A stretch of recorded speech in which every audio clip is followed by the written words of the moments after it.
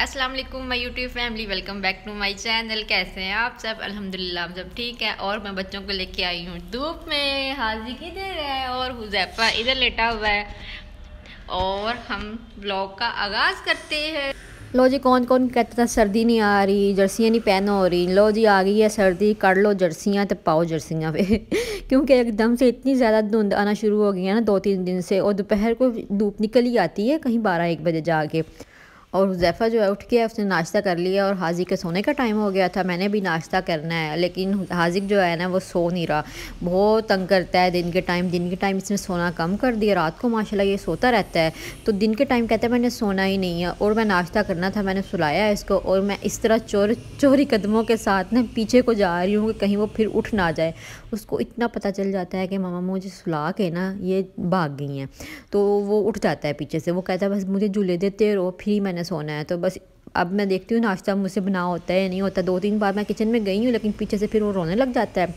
तो मुझे था कि चलो सुबह उठ के इसने नाश्ता वगैरह कर लिया, दूध पी लिया पेपर चेंज कर लिया तो सो जाएगा। लेकिन कभी सो जाता है, कभी इतना ज़्यादा तंग करता और मैंने एक बार जाके पेड़े कर लिए थे। मैंने आज पराठा बनाना था, मूलियों वाला।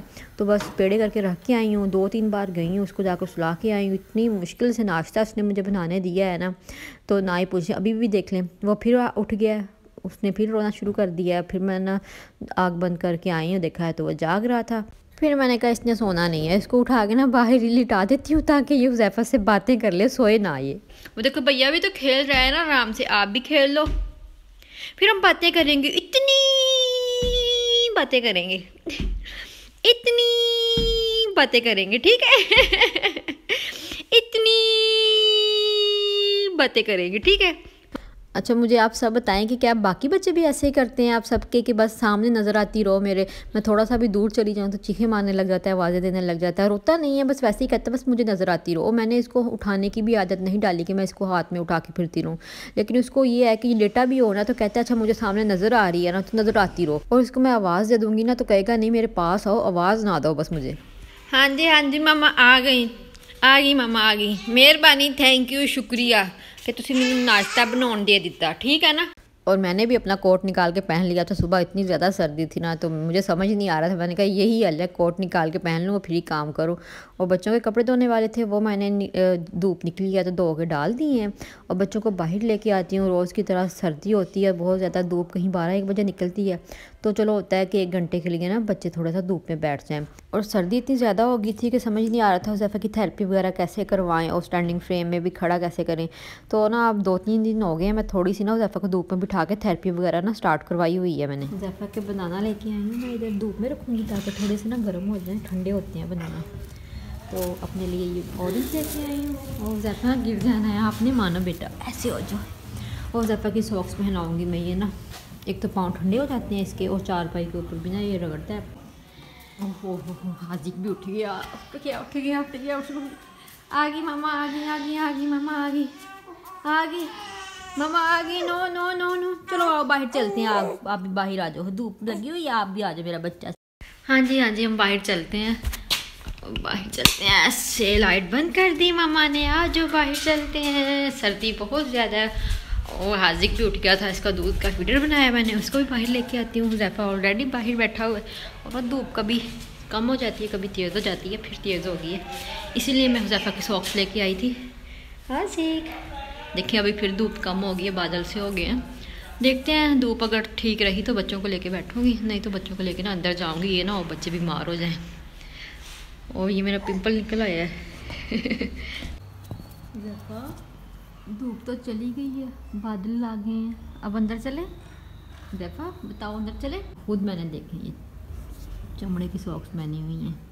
ये मैंने इम्तियाज़ से ली थी पिछले साल। इतनी वॉम है ना अंदर से। कि मज़ा आ गया पहन के। और अब मैंने पहनी है, पिछले साल ली थी, पहनी है अब मैंने। और ये साग जो है ना, ये हमें आ गया है साग। साग हमें आ गया। और ये मेरा भाई लेके आया था मैंने बना के भेजा था, इसको मैं रखती हूँ धूप में। ओ, बड़ा भारी है ये इसको मैं रखती हूँ धूप में। और अम्मी ने बना के भेजा है साग। मैंने कहा, चलो, हमें हमने भी आगाज़ कर ही लिया बिस्मिल्लाह कर ही ली साग की, इसको मैं आज तड़का लगाऊँगी। तो मैंने इधर रख दिया, धूप में थोड़ा सा हो जाए, ये बहुत ज़्यादा बर्फ़ जमी हुई है इसमें।